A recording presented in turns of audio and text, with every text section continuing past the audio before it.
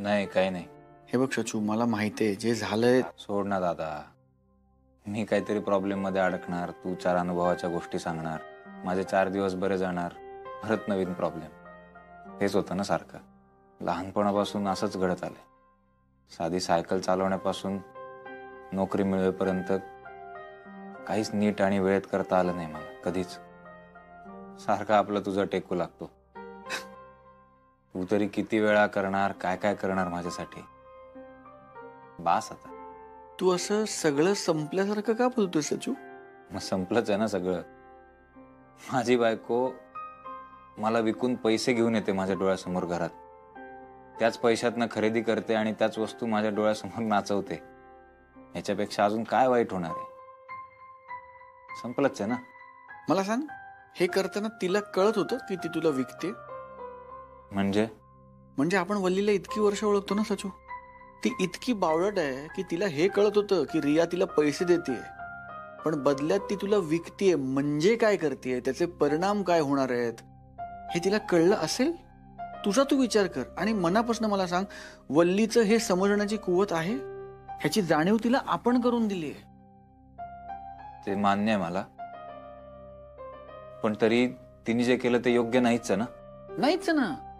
मी वल्लीच्या वागण्याचं समर्थन करत नाहीच आहे. किंबहुना तू तिला माफ कर असंही मी म्हणत नाहीये. वल्लीचं काय करायचं? तिच्याबरोबर कसं वागायचं? कसा व्यवहार ठेवायचा? हे तुझं तू ठरव. मी फक्त इतकं म्हणतोय बाळा की आयुष्यामध्ये कृतीपेक्षा हेतू जास्त महत्त्वाचा असतो. म्हणजे काय म्हणतोयस तू? वल्लीने तुला विकून तुझ्या बदल्यात पैसे घेतले रियाकडून. कारण तिला पैसे हवे होते.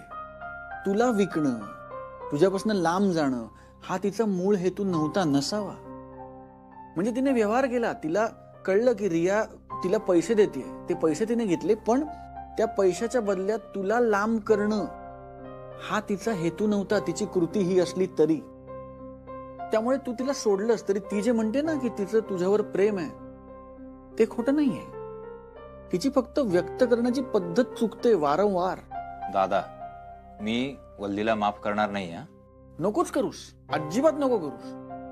पण वल्लीला मी नकोय हा विचारही नको करूस. मला सांग रे जगातलं कुठलं जोडपं आयडियल आहे? तुमचं नाहीये आमचं नाहीये कोणाचंही नाहीये. जगातलं कुठलंही जोडपं जर हे म्हणत असेल ना की आम्ही आयडियल आहोत ते खोटं बोलतायत सचू. जगातलं कुठलंही जोडपं आयडियल नाही. हे जसं खरं आहे ना तसंच माझा अनुभव सांगतो की जगातलं कुठलंही नातं भांडणामुळे तुटत नाही सचू. पत्याच बोला. अ, मला जरा ऑफिसच्या कामासाठी बँगलोरला जावं लागणार आहे. अचानक? अचानक म्हणजे खूप अचानक. अचानक म्हणजे इतकं अचानक की कदाचित मला घरी यायला जमणार नाही काही काय पट्या? तू माझी एक तीन चार दिवसांची बॅग भरून ठेवशील का प्लीज? अरे पण ती न्यायला तरी घरी येशील ना? नाही मोस्टली म्हणजे काम खूप पेंडिंग आहे. तू मला ती एअरपोर्टला देऊ शकशील डिरेक्टली येऊन? काय चाललंय तुझं पट्या काम. खूप काम. एक्झॅक्टली मग कामात हयगय नको मी बॅग भरते तुला घ्यायला येते आणि मग तुला एअरपोर्टवर सोडते. नाही नाही नको तुझी गडबड होईल. होऊ दे ना गडबड. आता इतक्या दिवसांचा विरह आहे म्हटल्यावर भेटायला नको का जायच्या आधी? एकदम विरह वगैरे? हम्म. सचू कुठे? आहे इथेच आहे. हा काय? बोलायचं का तुला? नाही नाही. बरं आहे ना? जेवला? हो जेवला ना. तिथे वाड्यावर माई मावशी आणि आप्पांनाही जेवायला लावलंय. त्यांनी गोळ्या सुद्धा घेतल्या. तू इकडची काळजी करू नकोस. तू फक्त कामावर फोकस कर. थँक्यू तू आहेस या विश्वासावर मी इकडे काम करतोय. हम्म पुरे आहे. तू आहेस म्हणून मी एका क्षणाचा विचार न करता बँगलोरला जाणार का असं म्हटल्यावर पटकन हो म्हणून टाकलं. खूप थँक्यू आता आभार प्रदर्शन उरका. हम्म?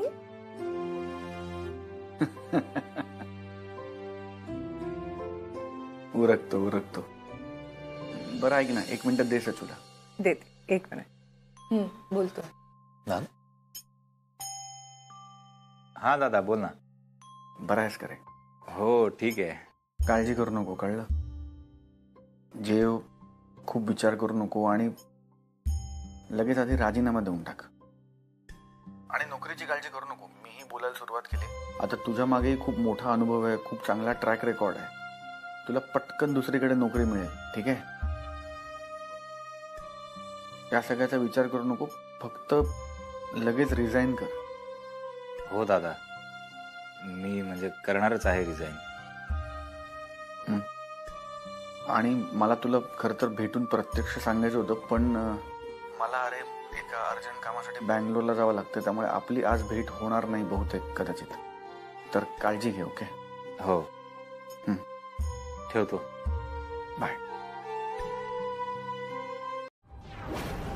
आणि तसंही तुझं आणि सचिनचं सगळं काही संपलंय ग? आता तर तुझा खरं रंग सचिनला कळालं.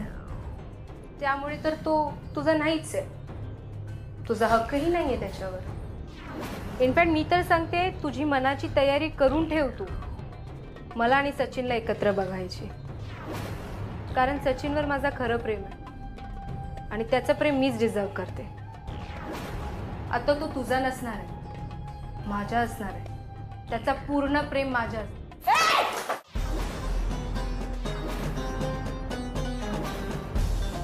तोंडाला येईल ते बोलू नकोस.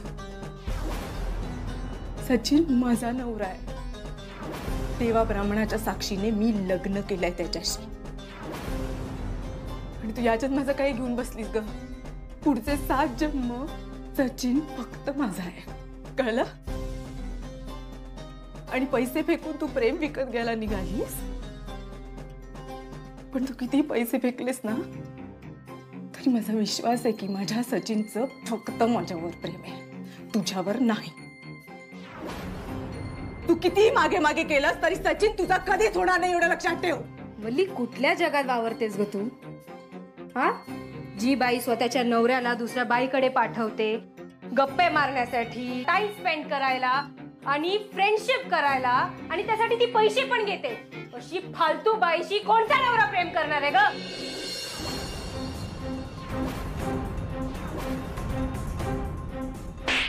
वल्ली!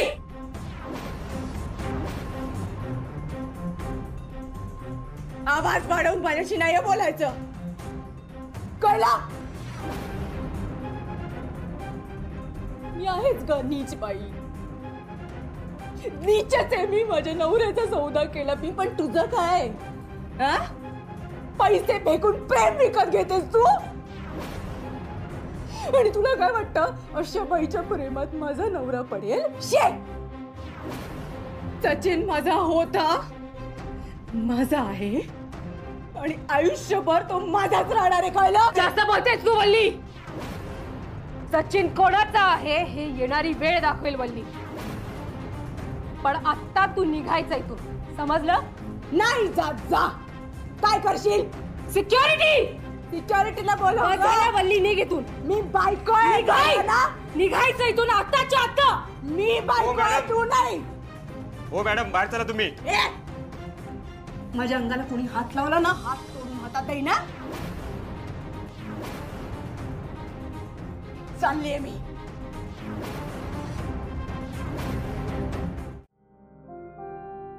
मॅम हे काय झालं हो सचिन दादाचं? हो रे फारच अपसेट आहे तो. पण तू त्याच्यासमोर काही बोलू नकोस हं? नाही नाही. मी काहीच नाही बोलणार. राधा म्हणते तसं I will be a good listener मी ऐकून घेईन सगळं. आणि तसंही तुझं वाड्यावर येणं जाणं असतं ना वरचेवर हो म्हणजे त्याच्याबरोबर थांबायला मला काहीच अवघडल्यासारखं होणार नाही. खरं तर मीच थांबायला हवं रे. पण तिकडे वाड्यावर माई मावशी पण एकट्या आहेत ना? त्यांच्याकडे लक्ष द्यायला नको का? हो करेक्ट आहे. तुम्ही काहीच काळजी करू नका. आणि काही लागलं तर मी तुम्हाला फोन करेन ना लगेच. हो. बरं ऐक ना. हे बघ पोळ्या इथे आहे आमटी आहे भाजी आहे हं? आणि भात मध्ये ठेवलाय गरम करून घ्या. बरं ऐक सचिन नाही म्हणेल भूक नाहीये म्हणेल नाही जेवायचं म्हणेल पण तो नीट जेवतोय की नाही हे बघण्याची जबाबदारी तुझी. मी बघतो. आणि अं, चहा कॉफी करून घ्या. चहा साखर कॉफी पावडर फ्रीजमध्ये ठेवली. मॅम? मॅम मी बघतो इथे सगळं. तुम्ही तिकडची काळजी करा आता. मी इथे आहे. बरं आणि मला जर यायला उशीर झाला म्हणजे खरं तर उशीर होईलच तर थांबशील ना तेवढा वेळ. मी तर म्हणते तू रात्री इथेच राहा ना नील इतक्या उशिरा तरी कशाला जाशील? नाही का? मॅम मी आहे. तुम्ही या जाऊन. मी आहे.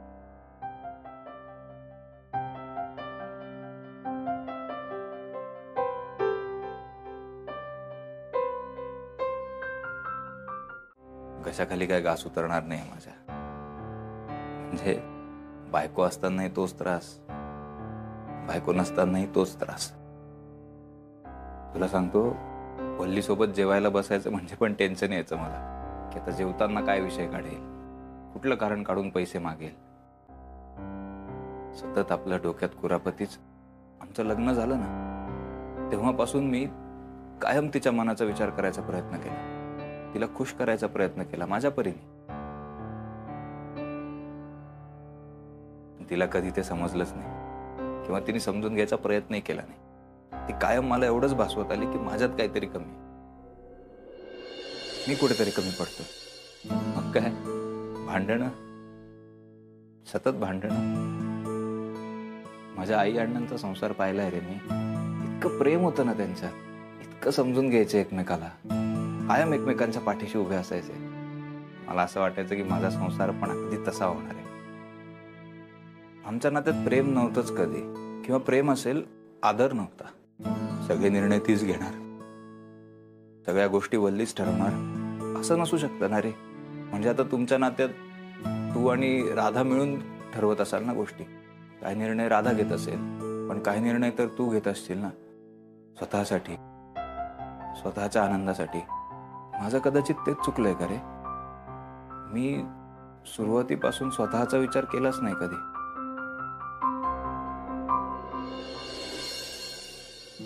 मी स्वतःचा विचार करायला हवा होता ना रे.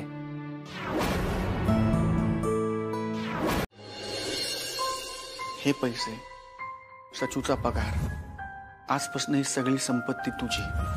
त्याच्या बदल्यात आजपासून सचिन मात्र रियाचा.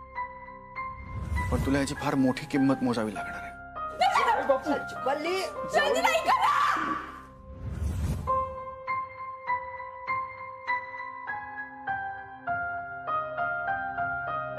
वल्ली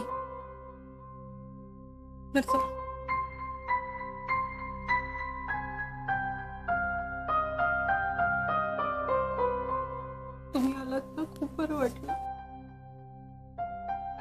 खरंच. सचिन नाही आला सचिन का नाही आला खरं सांगू मला नाही करमत आहे हो त्याच्याशिवाय. तुम्ही तुम्ही तुम्ही त्याला यायला सांगा ना होणार जाऊ बाई तर तुमचं ऐकतो ना सगळं. वल्ली वल्ली ती माझ्या हातात नाहीये वल्ली. सचिन लांब गेलाय ते ते तुझ्या चुकीमुळे. तू हे वेळीच थांबवलं असतंस तर आज असं नसतं ना झालं. मी सावध केलं होतं की नाही तुला? वाडा पैसा हे सगळं मिळेल तुला पण माणसं गमावून बसशील. आणि एकटी पडशील. सांगितलं होतं की नाही? ऐकली नाहीस तू? बोलू होणार जाऊ मी हे बोलणं टाळून काय होणार आहे वल्ली सांग मला. हे तू वेळीच थांबवलं असतंस ना? तर हे सगळं घडलंच नसतं. असं एकटीनं रडत बसण्याची वेळच आली नसती. हो की नाही? मी मान्य करते ना माझी चूक झाली. मी खूप मोठी चूक केली. मी माफी मागायला तयार आहे ना. मी सगळ्यांची माफी मागते. मी सचिनशिवाय नाही राहू शकत. मला ही माणसं नाही गमवायचे. माझा संसार नाही गमवायचे मला. मला सचिन परत हवाय मी त्याच्यासाठी काही करेन. मला सचिन परत हवाय होणार जाऊ बाई. तुम्ही? तुम्ही मला सांगा ना मी काय करू? मी सांगते ते करशील? हं. खरंच करशील? सांग. काहीच करू नकोस. शांत बस. वाट बघ त्याची. किती दिवस वाट बघू मी? ते मी नाही का सांगू शकत. सचिनच्या जाण्याचा जसा तुला त्रास होतोय तसा त्यालाही होतच असणार.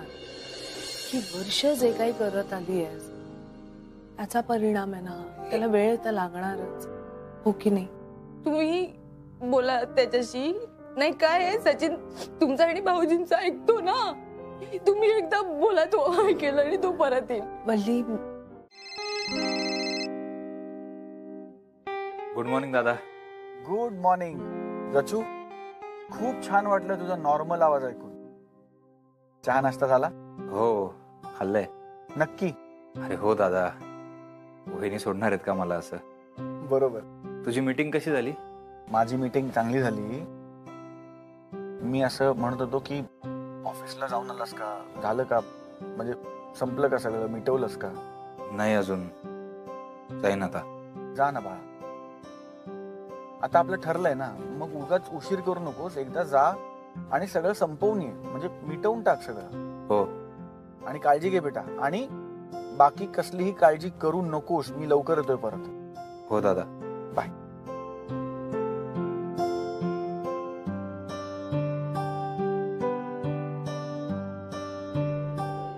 हिला काही प्रॉब्लेम वाटत नसेल यात.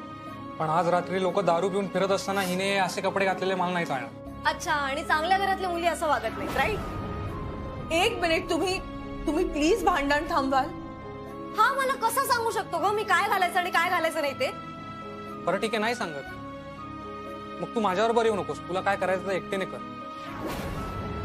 अरे तुम्ही दोघं समजूतदार आहात ना. भांडताय काय असे? मग काय करू ग? ह्याची मनमानी ऐकून घेऊ? राधे सगळं कसं मनासारखं होईल? प्रेमात होतं ग असं? त्याचं प्रेम आहे का माझ्यावर ना हाच मुळात प्रश्न पडलाय मला. मला असे प्रश्नच पडत नाही. माझं आहे प्रेम. आणि एकदा शब्द दिला ना की तो शब्द पाळणारा माणूस आहे. मी अच्छा म्हणजे मी शब्द पाळत नाही का? सगळ्या गोष्टींचा चुकीचा अर्थ कसा काढतेस तू? मी तुझ्या प्रेमापोटी बोलतोय. तुझी काळजी वाटते म्हणून बोलतोय. अरे पण मला हे घालू नकोस हे घालू नकोस असं सांगण्यापेक्षा असं सांग ना. की राधा तुला काय हवं ते घाल. मी आहे मी काळजी घेईन तुझी. हे सांगायला काय घेशील? वा. म्हणजे मी काय करायचं हेही तूच ठरवणार आणि तू काय करायचं हेही तूच ठरवणार का? मग अजून कोणी ठरवायचंय? मी ठरवणार कारण तुला साधा कॉमन सेन्स नाहीये कसं वागायचं कुठे त्याचा. ए तू हट यार. तुम्हा दोघांच्यात तूच जास्त समजूतदारच असं मला नेहमी वाटलं. अ, नाही तू पडतं घे असं माझं म्हणणं नाहीये. पण प्लीज थोडं समजून घेशील का? मॅम कंटाळलोय मी आता. हिची अशी अपेक्षा असते की मी हिच्या समोर नंदी बैलासारखं बुगू बुगू करावं. नील हे करूया ही करूया. नील ते कर की ते कर. इथे जाऊया तिथे जाऊया. वैतागलोय मी. काही वेगळं नाहीये दुसरं. सतत काय तुला वाटतं मी तुझंच ऐकायचं? तसंच मलाही वाटतं. मग काय चुकलं त्यात? नाही ना? आता करते मग मला थांब जरा. पण मी तुला एक सांगून देते अजिबात ऐकणार नाही. तुझं काय वाटेल ते कर. एक काम करते. हे छान ड्रेसेस आहेत ना अजून शॉर्ट करते. काय मला शॉर्ट कपडे घालायला आवडतात? सो लेट सी राधा एक मिनिट काय करते लागेल लागेल. लागेल. थांब जरा.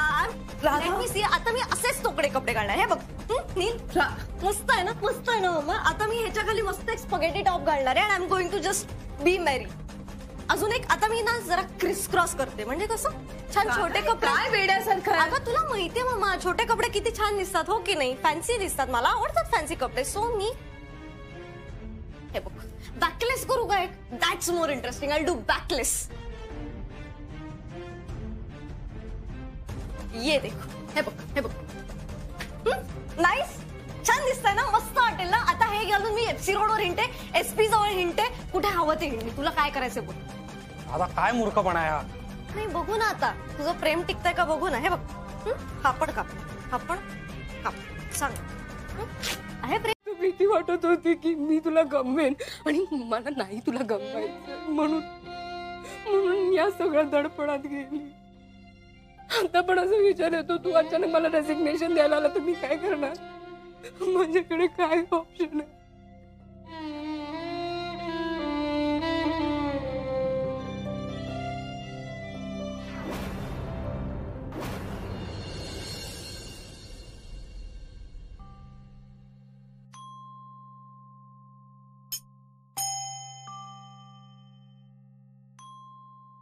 मॅडम सॉरी पण एवढं सगळं झाल्यानंतर मी नाही हा जॉब करू शकत. सॉरी इट्स ओके सॉरी नको म्हणूस मला माहितीये तुझ्यावर. तुला खूप त्रास होते जे काही गोष्टी घडते तू प्लीज प्लीज सॉरी नको म्हणू. खरं सांगू हे सगळं आपण नाही स्टार्ट केलं. तिसऱ्या व्यक्तीने स्टार्ट केलोय आणि त्याचं शिक्षा तू आणि मी भोगतोय. मला सांग हे सगळं कुठून स्टार्ट झालं? वलीची चूक आहे ना? तुझं आणि माझं काय फॉल्ट आहे? काहीच नाही. अरे वल्लीने तर आपल्या दोघांना वेडा बनवलाय. काय करून ठेवलं आपलं? तिने तुला हट केलं तर केलं माझं पूर्ण आयुष्य तिने स्पॉइल केलं रे. असं कसं करू शकते ती? माझ्या आयुष्यात आता काहीच उरलं नाहीये. काहीच नाही. स- सचिन मला ना फक्त तुझा वेळ तुझ्या सोबत एवढंच पाहिजे होता. म्हणून मी हे सगळं पैशात फसली रे. पण काय झालं बघ ना. मी तुलाच गमावलं. ज्याच्यासाठी एवढं सगळं केलं तोच माझ्याकडे नाहीये आता. आणि बल्ली सारखी बायको कोणालाच मिळाली नाही पाहिजे. एवढी चुकीची बाई आहे ना ती नाही मिळायला पाहिजे कोणाला. आणि खास करून तुझ्यासारख्या प्युअर हार्ट सोबत असं झालंच नाही पाहिजे. खूप चुकीची बाई आहे ती खूप चुकीची बाई. मी अजून अजून असं विचार केला ना मला मला खूप त्रास होते मला हे आता मला तर सहन होत नाहीये. बघ सचिन मी तुझ्यावर खूप प्रेम करते आणि मला खरंच तू माझ्या आयुष्यात हवंय. मला तू पाहिजे माझ्या लाईफमध्ये. नाहीतर मी वेडी होणार मी मला नाही नाही नाही होते नाही होते. मॅडम काय काय करतात हो मॅडम थांबवा हे. सचिन प्लीज तू मला नको खूप झाली मला already. Please madam please please please Sachin, तुम- Please, मॅडम please. तुम्हाला खूप झाली आहे ऐका ना. प्लीज करा मॅडम. नाही मॅडम प्लीज ऐका. मी मला जीव घेता पण नाही दिला स्वतःचा. मला हे त्रास सहन होत नाहीये. कळत नाहीये मला कसं होतंय. मी काय करू? मला कळत नाही या अवस्थेत आहे रे मी आता. माझं नाही सचिन खरंच नाही होत मी दुसऱ्यांची चुकाची शिक्षा भोगते. नाही नाही नाही चुकीचं आहे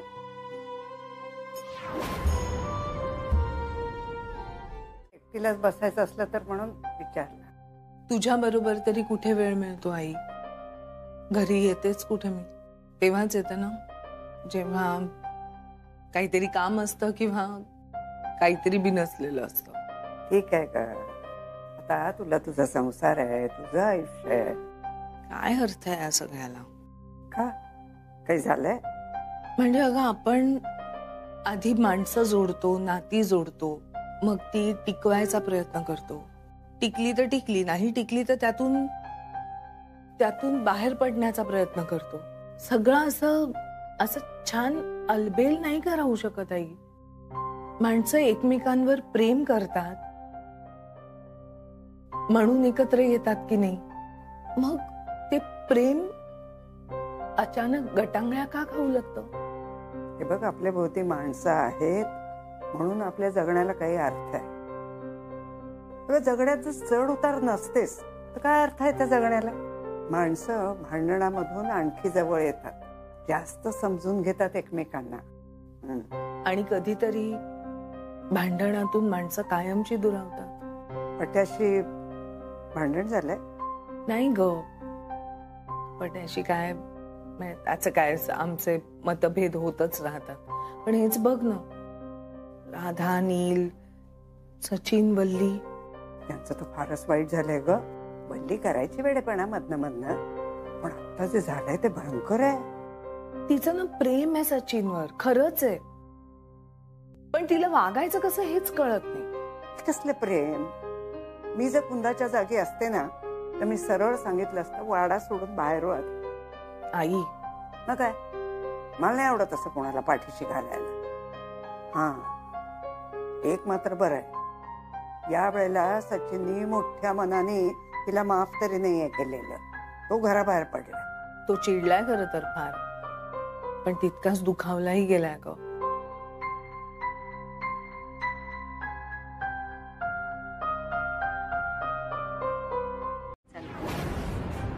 आपल्यामध्ये काहीच झालं नाही. फक्त काल रात्री थोडा जास्त ड्रिंक केला आणि इथे झोपला. त्याच इट बाय दिवी तू पहिल्यांदा ड्रिंक केलेस ना? मॅडम मी तुम्हाला म्हणलं ना मी नाही हे ड्रिंक वगैरे करत. कधीच. हा सांगितलं होता तो काल मला. पण मी प्रत्यक्षात बघितलं पण. तुझ्याने ड्रिंक झेपत नाही. कॉफी हे? नाही नको. मॅडम? हं. आपल्यात काल काय खरंच खरंच काहीच झालं नाहीये. ठीक आहे? आणि तू जे काय रेझिग्नेशनबद्दल बोललं मी विचार केला त्यावर आणि मी ठरवलं की मी तुझं रेझिग्नेशन एक्सेप्ट करते. बघ तू आता ऑफिसला आला तर तू अनकम्फर्टेबल राहणार तुला काम करायला मन नाही लागणार आणि ते बघून मलाही त्रास होणार आहे. असू दे मी तुझं रेझिग्नेशन एक्सेप्ट करते पण कंपनीचे काय प्रोसिजर्स आहे सर ते तुला करावं लागणार. तर त्यासाठी तुला ऑफिसला यावं लागणार आणि काही फॉर्मॅलिटीज पूर्ण करावे लागेल हो येतो ना मॅडम. आजच येतो. आणि म्हणजे मा- मला माहिती आहे मॅडम जे काय झालं त्याच्याने तुम्हाला पण खूप मनस्ताप झालाय. तरी पण तुम्ही समजून घेतायत त्यासाठी खरंच थँक्यू मी आजच येऊन सगळ्या फॉर्मॅलिटी कंप्लीट करतो मॅडम. थँक्यू बरं. कॉफी घेणार आता नाही मी येतो.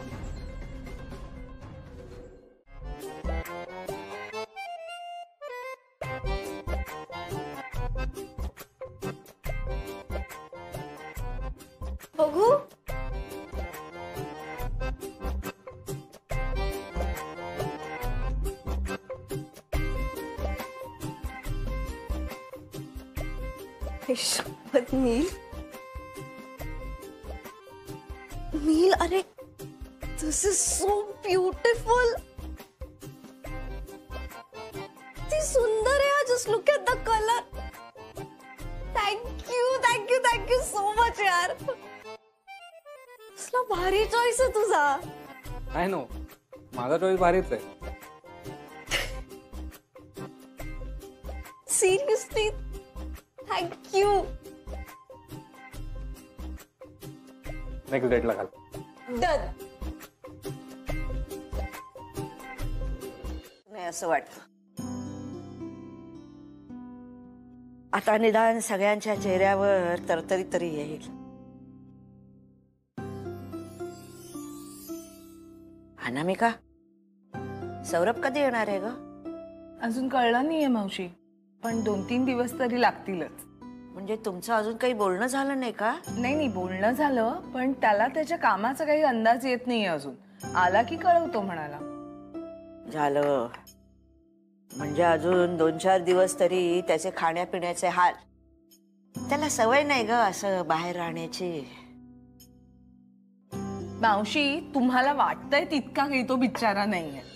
तो मस्त खातोय पितोय. आणि छान नवीन नवीन डिशेसचे फोटो काढून सुद्धा पाठवतोय मला. बरोबर. प्रत्येकानं हा असा एक छोटासा ब्रेक घ्यायलाच हवा नाही का? माय मावशी. सच्चू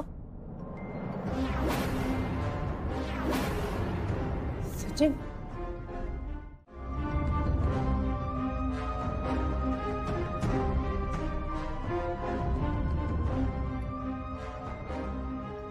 सच्चू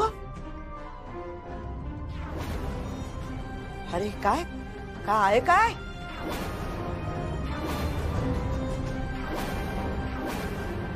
सचिन ही इथे काय करते?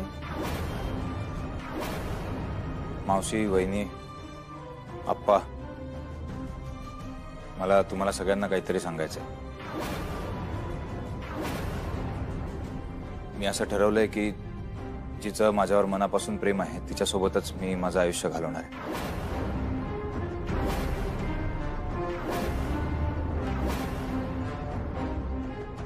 आणि असं म्हणतात ना की ज्या व्यक्तीचं तुमच्यावर मनापासून प्रेम आहे तिच्यावरच प्रेम करा.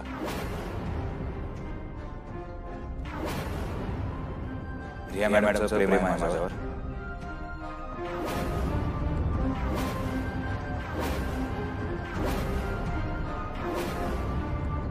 आणि आता त्या आणि मी इथे माझ्या घरात या वाड्यात एकत्र राहणार.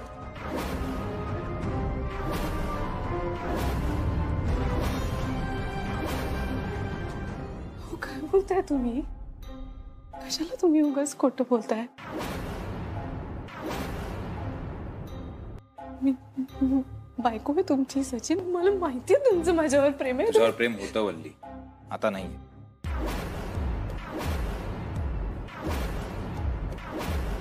कारण तुझं माझ्यावर प्रेम नाही तुला फक्त पैसे हवेत. व्यवहार केलास ना माझा?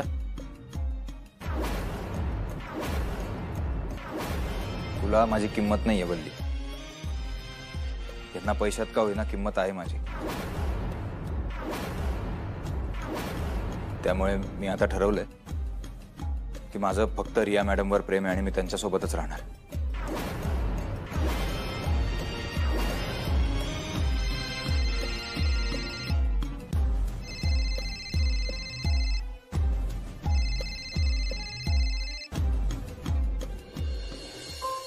हॅलो सांग मी कुठे आहे? पट्या. नाही नाही तू ओळखणार नाहीस. मीच सरप्राईज फोडतो. मी माझं वचन पूर्ण करतोय बालिके. पुढच्या काही वेळात मी खरंच तुझ्या बरोबर असणार आहे. पट्या तू ये. मग बोलूया आपण. हा? भेटतो. भैया जल्दी चलना.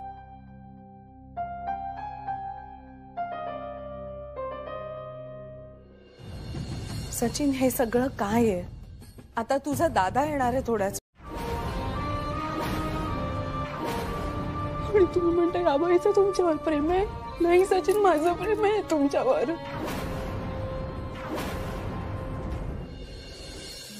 तुम्ही विसरलात का? हो चांगले वाईट दोन्ही दिवस काढलेत ना आपण एकत्र? हा? हो किती प्रेमाने डबा द्यायचे हो मी तुम्हाला. अहो किती सुंदर दिवस बघितलेत आपण. किती सुखाने संसार केला आणि तुम तरी तुम्हाला हि- हिचं प्रेम खरं वाटतंय?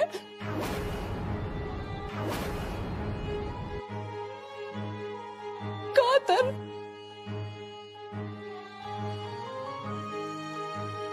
मी चूक केली. मी मान्य करते ना सचिन. मी हात सोडते तुमच्यासमोर सचिन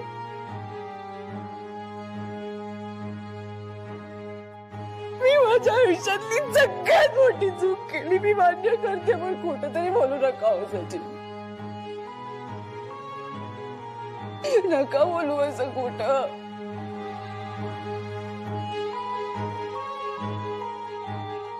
आणि मला माहितीये ना तुमचं अजूनही नाही नाही तुमचं अजूनही माझ्यावरतीच प्रेम आहे. तुमचं माझ्यावर प्रेम आहे, कळलं? काय करतेस? सचिन, मागे सरक!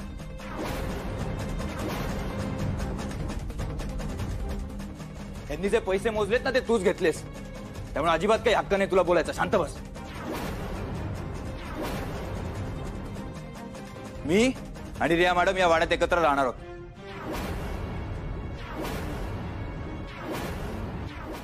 जे काही चाललंय ते आम्हाला काहीही कळत नाहीये कारण हे फार विचित्र आहे. हा आमचा सच्चू नाहीच आहे. तू असं वागूच शकत नाहीस. मला सांग तुला दडपण आहे का कसलं? सच्चू कोणीतरी जबरदस्ती करताय का तुझ्यावर? या सगळ्याला काय अर्थ आहे? हे बघ वल्ली चुकीची वागली याचा अर्थ असं नाही की तू कसंही वागावं माही मावशी आप्पांना किती त्रास होतोय अरे. तुला काहीच फरक पडत नाही. आणि वल्ली वल्लीलाही त्रास होतोय. याचा विचार करायला काहीच हरकत नाहीये नाही का? का? मी का करायचा विचार? तिने कधी केलंय का? मला काय वाटतं याचा विचार केलाय आणि दुसऱ्यांचाच विचार करत का जगायचं मी? माझ्या आनंदाचं काय? माझा विचार करायचा का नाही मी? राहू दे आप्पा. प्लीज. मॅडम तुम्हाला लागलं नाही ना फार?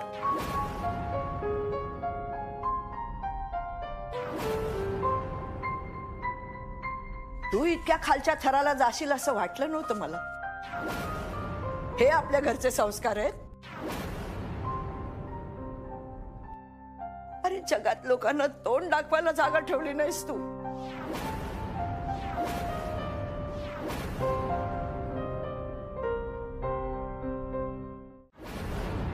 अगं लागेल वल्ली ते- फेकून दे कस्तुरी फेकून दे. नाही जगायचंय मला.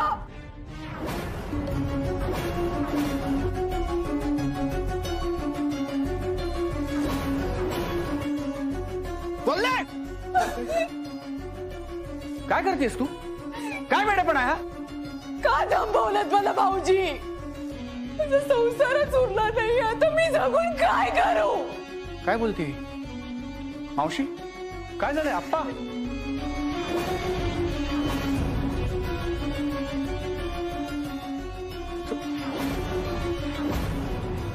ही रिया इकडे काय करते? सचू रिया इकडे काय करते?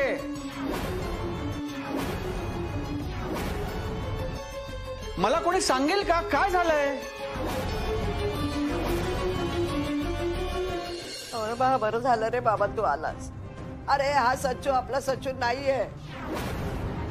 अरे काय त्याला अवधस आठवली कळत नाही पण तो आपलं घर मोडायला निघालाय. बघ आता तूच काय ते बघ.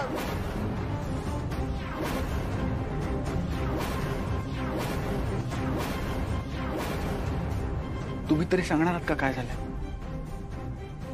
दादा त्यांना कशाला विचारतोस? मी सांगतो ना काय. वल्लीने दाखवून दिलंय ना तिला मी किती नकोसा झालोय ते. मग मी सुद्धा ठरवलंय मला माझं उरलेलं आयुष्य कोणासोबत घालवायचं.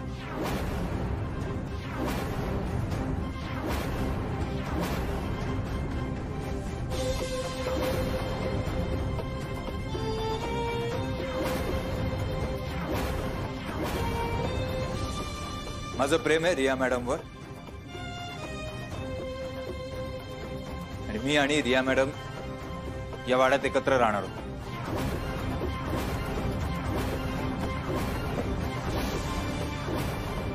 तुला कळतंय का तू काय बोलतोस भानावर आहेस का तू सचिन? मी खरं तेच बोलतोय दादा. रिया मॅडम आणि मी या वाड्यामध्ये एकत्र राहायचं ठरवलं. आणि म्हणून मीच त्यांना घेऊन आलो इकडे. ओळखेळ्या हा? तुझी लग्नाची बायको घरात असताना तू एक वेगळी मुलगी घेऊन घरात येतोस. आणि तुझ्या बायकोच्या समोर मला सांगतोयस की तू या मुलीला या घरात ठेवून घेणार आहेस. ओळखे तुला कळतंय का तू काय बोलतोस सचिन? मग काय बिघडलं दादा? तू आणि वहिनी सुद्धा राहताना लग्न न करता एकत्र?